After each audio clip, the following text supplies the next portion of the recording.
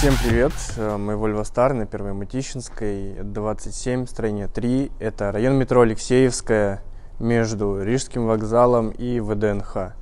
А, очень много поступает вопросов а, по поводу, ну, во-первых, названия улицы. Мытищинская улица, это не значит, что мы находимся в городе Мытищ.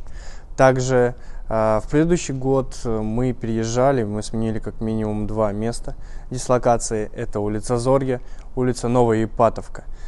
Там нас больше нету. Соответственно, Volvo Star сейчас находится только в двух экземплярах. Первый здесь, на Первой Мытищинской, 27, строение 3, район метро Алексеевская, буквально в пешей доступности. И второй адрес это автомоторная 4А, строение 21. Это район метро Водный стадион. Э, или район Коптево, он так вот называется. Больше Volvo Старов нет. Пока что нет. Мы это планируем, но пока что мы только в двух экземплярах и только на этих адресах. Автомобиль XC70, э, в который въехал у нас BMW X6, э, вот уже закончен, открашен. Э, в данный момент сейчас заканчивается работа с капотом. А есть небольшие недочеты в плане сколы. Сейчас их доделают, заполируют, выровняют и будет капот, э, собственно, как новый. А ты можешь показать, что мы на этой машине делали и как в итоге это сейчас выглядит? Да, конечно. На этом автомобиле было повреждено э, левое крыло, левая дверь. И здесь э, был такой чиркающий удар. Плюс также колесные диски были повреждены. Соответственно, проем был вмят, соответственно, усилитель. И этот усилитель, собственно, мы полностью поменяли, подогнали под размеры, вставили и теперь, собственно, проем как новый. Дверь, вот эта полностью она а, заменена, поменены подушки безопасности, левая шторка, точнее, и подушка безопасности в водительском сидении. Сиденье перешито. А можешь показать, э, как там э, выстрелило сиденье и как мы зашили его? Как выстрелы сиденья, я думаю, мы найдем фотографию, ее вставим, в принципе. А зашили вот здесь по шву все разошлось. Шов полностью восстановили в, заводской, э, в заводское состояние и сейчас, собственно... То есть там э, при ударе, получается, лопаются только нитки, да, и э, нужно пере, перешить? Да, да, То есть да. кожа не повреждена? Нитки, да, с кожей все в порядке.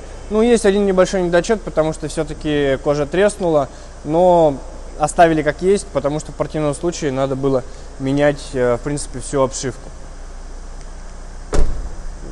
Еще также тут э, есть вопросы по топливной системе. Также автомобилем сейчас э, занимаются, разбираются. А, впереди у нас замена датчика топливной рампы. Ну, в общем, сделаем. Клиент уже ждет, да и нам бы побыстрее уже отдать эту машину. А при ударе там колесо не пострадало? Колеса пострадали, э, кстати, э, да, они были повреждены. Колеса покрасить в заводской цвет полностью не удается, в принципе, это было изначально понятно, поэтому было принято решение покрасить все четыре колеса, чтобы они были в одной цветовой гамме. И, соответственно, четыре колеса все полностью покрашены и отполированы Цвет немножко отличается от заводского, но это будет э, понятно только если поставить две одинаковые машины рядом с одинаковыми колесами, только тогда вы увидите разницу в оттенках. Еще раз хотелось бы напомнить, что комплексная диагностика в нашем сервисе идет в подарок э, при условии, если автомобиль в итоге чинится у нас. А по данному собственному чек-листу мастер проверяет полностью автомобиль. Э, здесь указаны подвеска, все соответственно ее детали. Плюс также по техническому обслуживанию масла, фильтра и все приводные ремни. Все это проверяется, заполняется, мастер ставит свои комментарии. Соответственно, если это требуется замены, возможно, скорые замены, возможно, с этим все в порядке, э, мы это все не трогаем. Если нужно менять, мы даем свои рекомендации. Если автомобиль остается в итоге у нас в сервисе, стоимость диагностики для вас абсолютно бесплатная. А есть у нас великолепный автомобиль э, XC90, дизельный, и проблема в нем заключается в том, что гудит задний редуктор. Владелец, собственно, купил уже БУ редуктор, мы его поставили, и, как оказалось, к сожалению, он также гудит. Соответственно, мы решили попробовать, почему бы и нет, надо разобраться с его старым редуктором, что непосредственно в нем вышло из строя. В итоге мы этот редуктор разобрали, и оказалось, что вот передний, передняя часть, основной вал, на нем стоит два подшипника, и они, собственно, развалились, подклинивают и гудят. Мы изготовили, можно сказать, такой специальный ключ, сварили из нескольких, открутили контрагайку и достали эти два подшипника. А насколько я слышал, э, владелец сам откуда-то нашел и приобрел э, тот редуктор, который оказался также неисправен.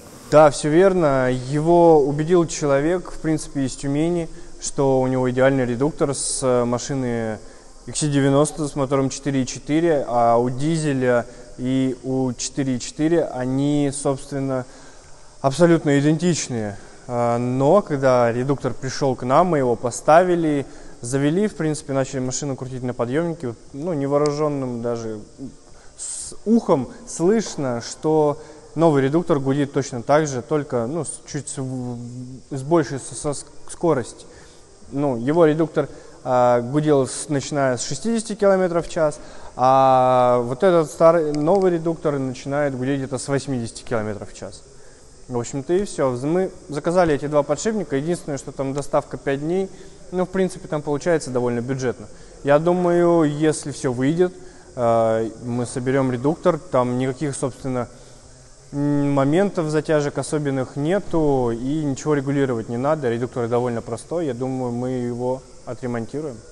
А, впереди у нас зимний сезон, в принципе, скоро уже будет актуальна услуга шиномонтажа, которая также присутствует в нашем сервисе.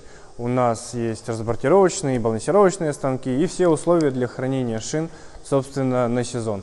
Так что всех приглашаю к нам сделать э, шиномонтаж, переобуть свой Volvo, на профессиональном оборудовании и ездить, э, наслаждаться зимней погодой на новых, ну, либо БУ в хорошем состоянии зимних шинах.